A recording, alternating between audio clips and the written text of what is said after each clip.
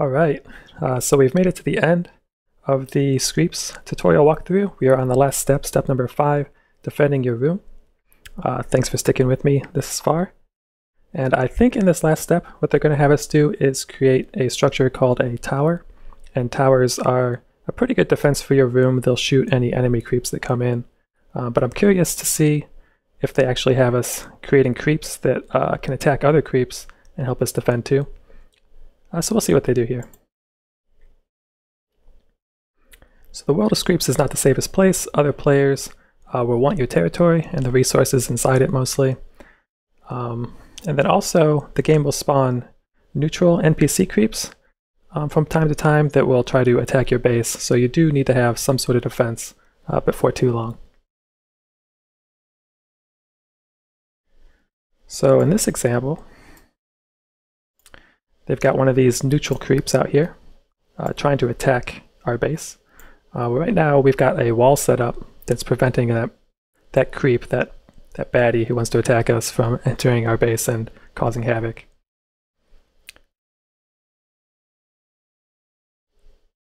So the first defense they suggest is using Safe Room.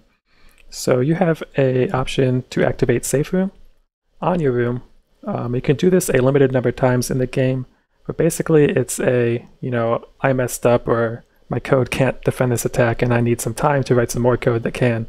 So you can activate safe mode, get a little bit time, uh, I think it's a few hours or something, it's pretty generous to uh, write code to, to stage an adequate defense uh, from your attacker. So we'll copy that, activate safe mode from our console to save our room from this attack. So now that we've activated safe mode, the enemy creep is still in our room, uh, but they've faded, which indicates that they can't actually do any damage to our room right now.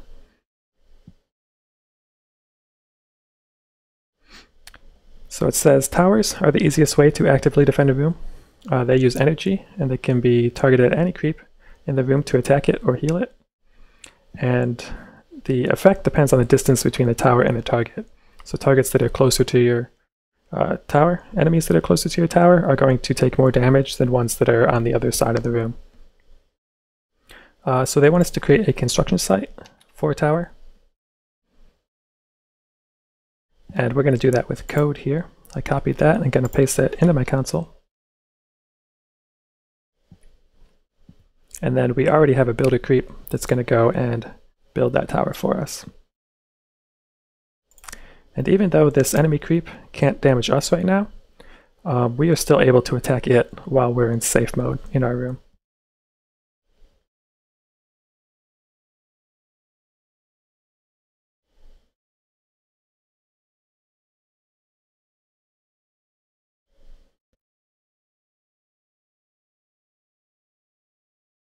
Alright, so our builder has finished building our tower and it says that towers use energy, so we need our harvester to take the energy that it harvests and drop it off at the tower uh, so that it can actually fire upon our enemies.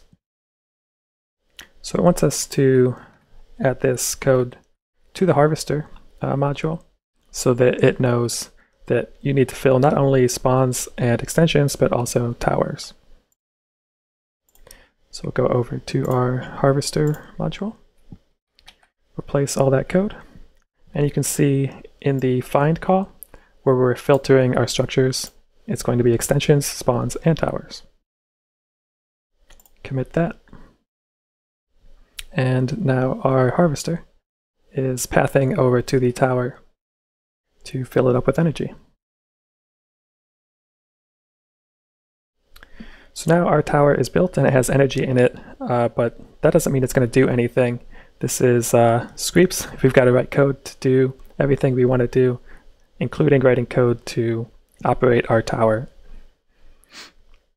Um, so tower has three modes. It can attack enemy creeps, it can heal your own creeps, and it can also repair structures.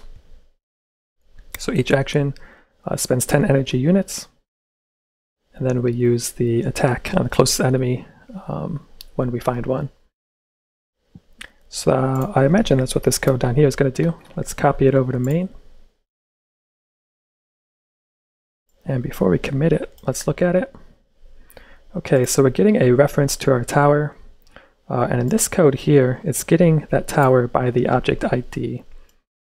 And that's this long string here. And to get any ID on any object in the game, you can select it and look over in the right hand panel.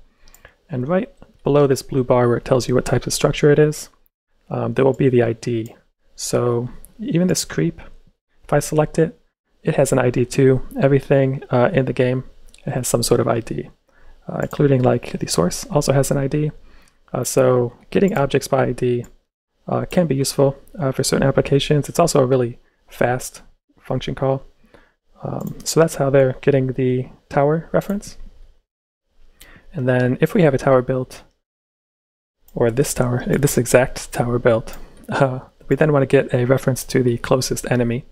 It's going to use this call, find closest by range. This is like our find call before, except instead of returning a list of objects, it's going to return uh, just one object, and it's going to be the closest one. And what type of object do we want? We want hostile creeps. And so if we find one, then our tower is going to go ahead and attack it. Uh, and that's real simple, just tower.attack, and we pass in the thing we want to attack. So let's commit that and uh, watch this guy die. So you can see our tower is shooting it, and it killed it. So the enemy creep is eliminated, and our colony is now safe. But the invader damaged some of the walls um, during that period where it could attack us.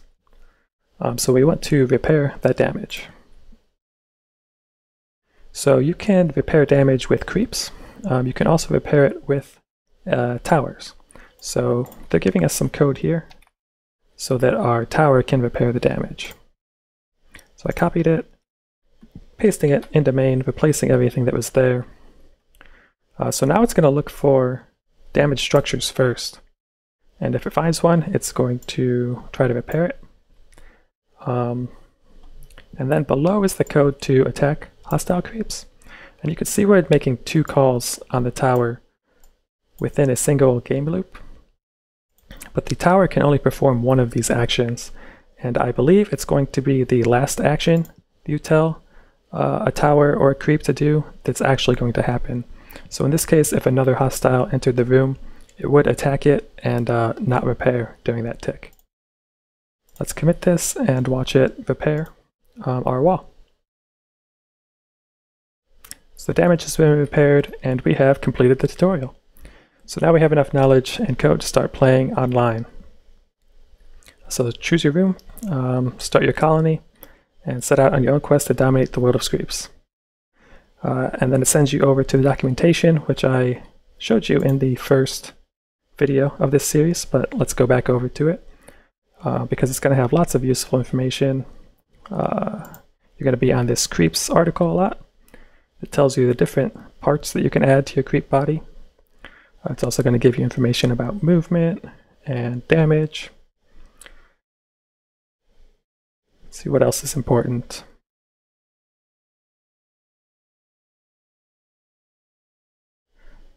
It talks about defenses, so you've got that safe room option, but that's really a last resort. Uh, you've got walls that can help buy you some time if you are under attack. Uh, ramparts are like walls, uh, but your own creeps can pass through them. Uh, so they're a little bit nicer. They do take more energy to repair and upkeep them. And then of course towers we just learned how to use. And then your creeps, you can build creeps that have different uh, attack parts. And those are really good at uh, defending your base, but the code is really complicated. So once you get there, uh, that, that'll be an ideal defense for your room. So yeah, I think that about covers it for um, this walkthrough of the Screeps tutorials. Uh, I hope you found it useful. And I guess this is the part where I try to sell you something.